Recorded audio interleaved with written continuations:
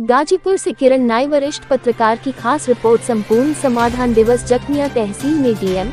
SP ने सुनी फरियादियों की फरियाद, दिया तत्काल निस्तारण का आदेश।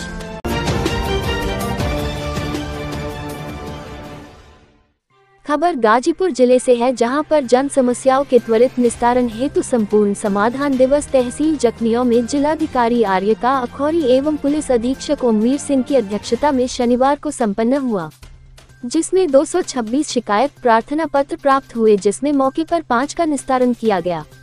जन समस्याओं के त्वरित निस्तारण हेतु सातों तहसीलों की सूचना के अनुसार संपूर्ण समाधान दिवस में कुल छह सौ चौरानवे शिकायत प्रार्थना पत्र प्राप्त हुए, जिसमें मौके पर इकतालीस शिकायत प्रार्थना पत्रों का निस्तारण किया गया।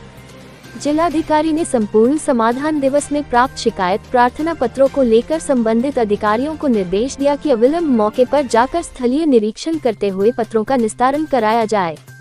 उन्होंने सार्वजनिक भूमि, तालाब, सरकारी भूमि, ग्राम समाज के भूमि पर अवैध अतिक्रमण को एक अभियान चलाकर अतिक्रमण मुक्त कराने का निर्देश दिया। उन्होंने आईजीआरएस पोर्टल पर प्राप्त शिकायतों को प्रतिदिन शत प्रतिशत निस्तारण करने के साथ ही शिकायत किसी भी दशा में डिफ़ॉल्ट न हो इसका ध्यान रखने को कहा। उन्होंने कहा, इसकी समीक्षा सीधे शासन स्तर से होती है। इसमें लापरवाही पर संबंधित अधिकारी स्वयं जिम्मेदार होंगे।